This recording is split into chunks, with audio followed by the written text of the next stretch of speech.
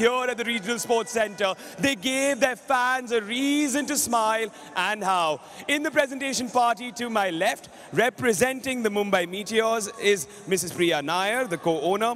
Representing the Kochi Blue Spikers are two dignitaries that are celebrated across Kerala, Mr. Basil Joseph and Mr.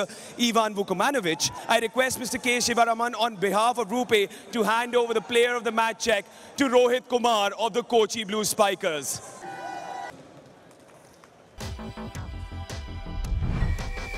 Well, Rohit Kumar, the player of the match, 10 points this evening, a firing force in this Kochi victory.